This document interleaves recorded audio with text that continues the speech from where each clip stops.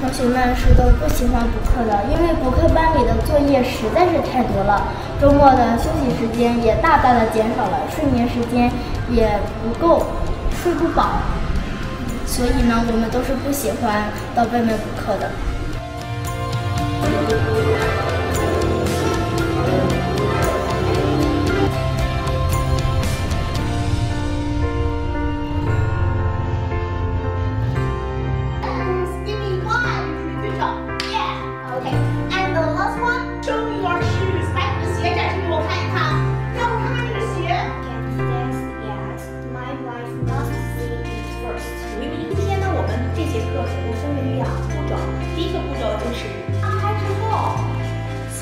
在新规定出台之后呢，我们对于教学上的变化也有了一些调整，对于家长的这个理念呢，可能也会发生了一些变化。他们会更多的注重艺术素质教育，来学习芭蕾舞的小朋友会更多一点。他们可以通过嗯，在孩子的学习舞蹈当中培养他们艺术情操呀，然后主要是可以舒缓他们学业带来的压力。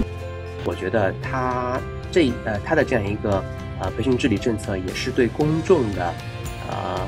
公众忧虑的、公众关切的一个非常积极的回应。